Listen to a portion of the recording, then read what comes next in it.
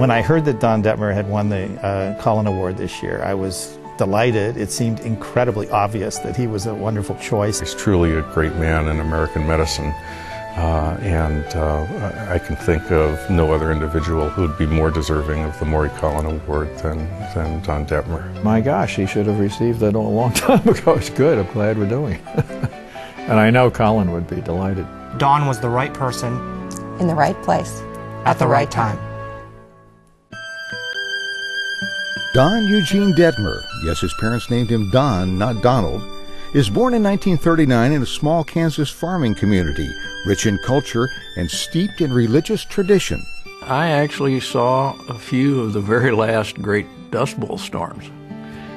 Yeah, and then I was in a couple tornadoes, and my sister's Dorothy, but her dog wasn't Toto. So, I mean, I really had very much a Kansas experience.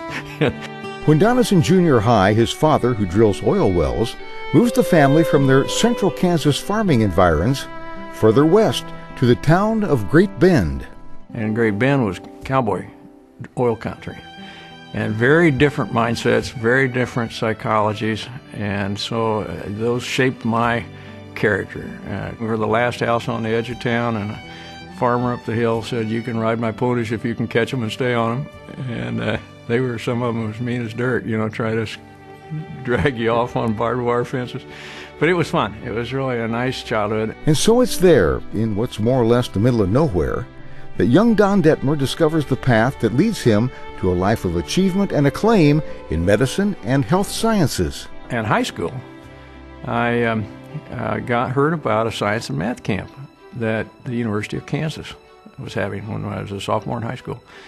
And I applied and luckily enough was accepted. Don's appreciation runs deep for the way he was raised and mentored early on by his grandparents, his older brother and sister, the community as a whole, and especially his parents, with mom getting special praise. She thought it was really important that I should go to Sunday school, so I had seven years of perfect attendance to Sunday school. And as a result of that, I am not late to meetings. If I don't show up at a meeting, I'm not going to show up. she, she had that so drilled into me. After high school, Don heads for what turns out to be a rather unconventional college experience. I went to University of Kansas and I spent a year in England.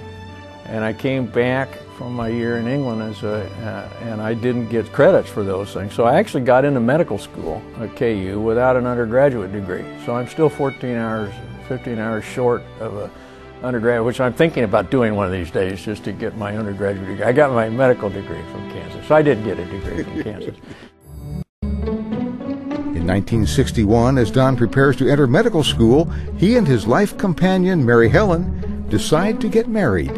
My wife is from Wichita. We met at the University of Kansas, and a great partner. We just had our 49th wedding anniversary, 50s next year, and uh, but it's funny. She accuses me of being from the enthusiasm belt.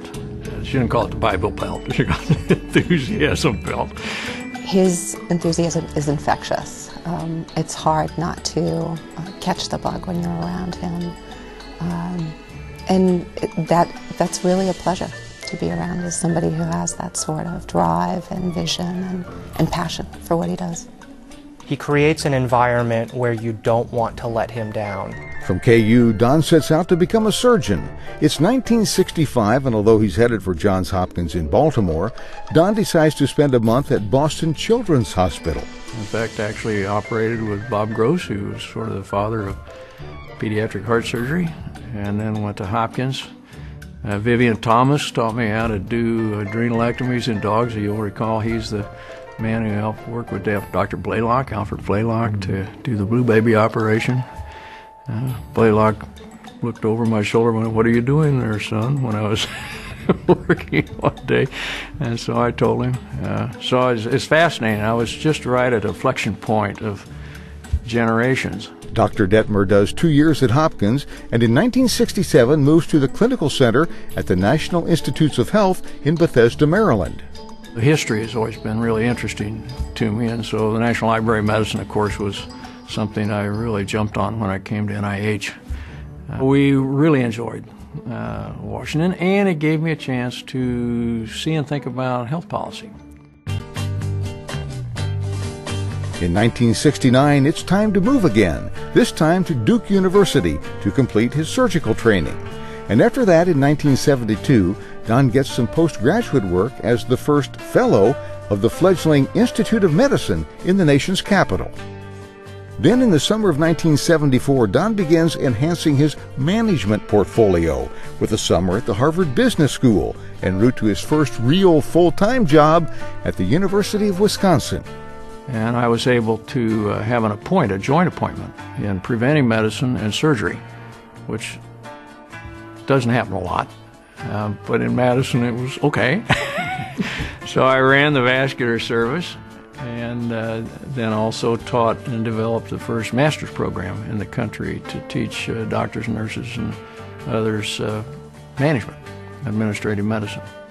Additionally, Don serves as team doctor for the Wisconsin Badgers.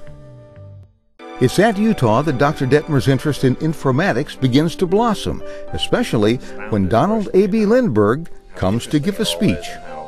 And since we're sitting in the Hotel Utah overlooking Mormon Square, I wasn't sure if his religious beliefs permitted him to join me in an old fashioned. But it turns out they did.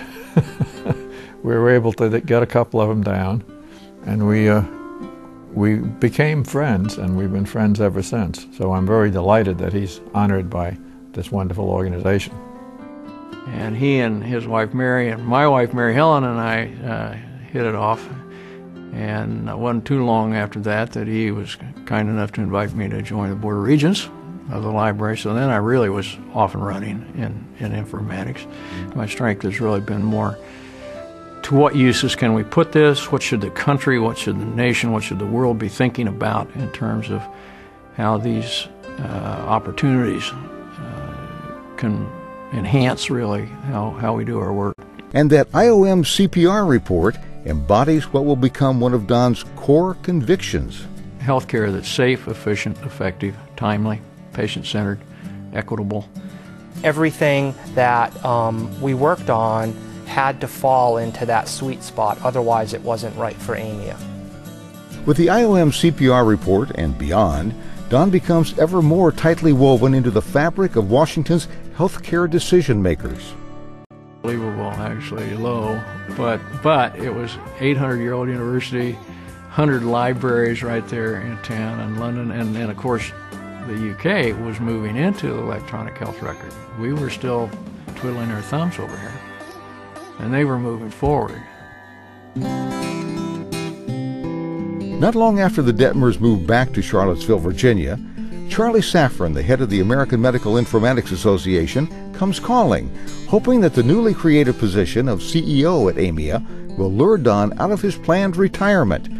And it's not necessarily an easy sell. And I'm very, very happy that Don was recruited to do that. Charlie uh, Safran deserves a lot of credit for charting that course and for taking the, having the courage to make that recommendation when a lot of people thought he was a little bit daft but I think it was a good idea.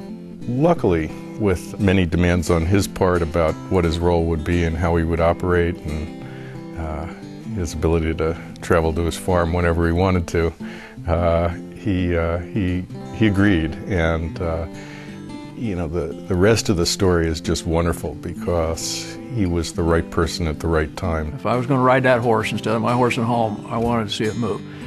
And, and it worked out really incredibly well really extremely well. Much better. I had the most fun in that job, I think, anything I've ever done. I think I probably accomplished the most too.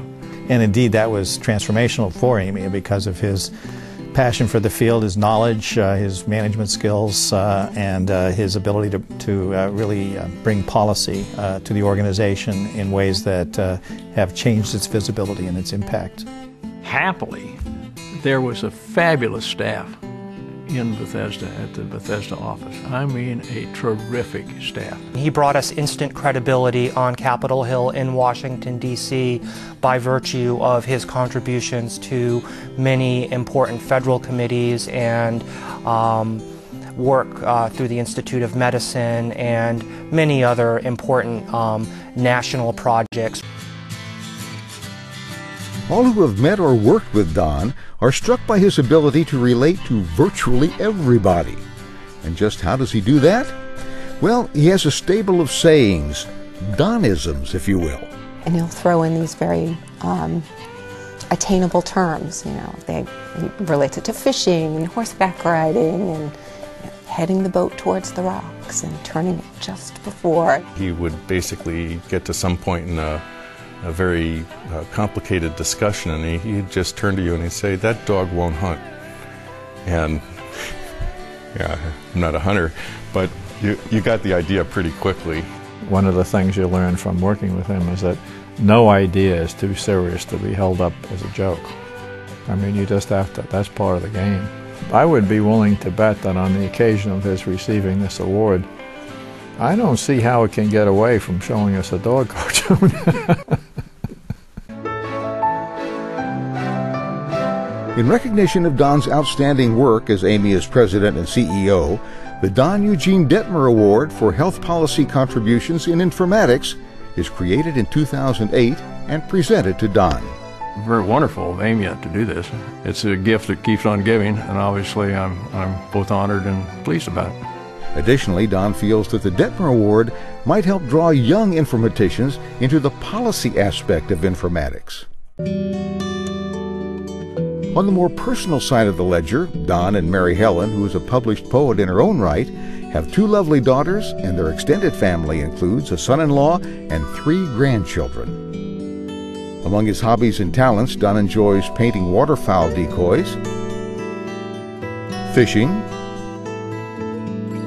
skiing with the family, and since Don's administrative and policy duties often keep him from the OR, he turns to needlepoint to keep those fingers nimble. Informatics is just filled with great people. And they just really are great people. They're hardworking, they're bright, they're well intentioned, uh, they got their heads on right, and, and they're really interested in doing, they want to do some good. Don, under your leadership as president and CEO, AMIA is a much different place than it was five years ago. In addition to inspiring AMIA member volunteers and developing new programs, you've encouraged and mentored many individuals on the AMIA staff, including us. We congratulate you on receiving the Collen Medal. And it is our honor to have worked with you. And it is our privilege to call you a friend. Don, uh, one of the great uh, treats in my life was getting to professionally work with you closely over a period of four years.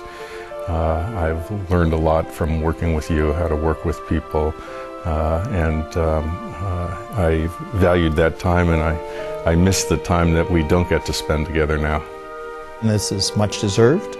Uh, we're all very happy for him and believe this is uh, uh, very suitable evidence of the esteem in which he's held in the community and our recognition of what he's contributed to the field over many years. I'm pleased that he's been honored, whether belated or otherwise. And I know it won't go to his head because he's got too many chores back on the farm to take care of. He's got his horses to feed and the hay to get up, and so he'll just he'll just pocket the award and go home and get to work. That'll be good. I'm a generalist. I have a lot of interests, and uh, it's a particular pleasure for me, I think, to have been, you know, seen as deserving this uh, by my colleagues in informatics. So thank you.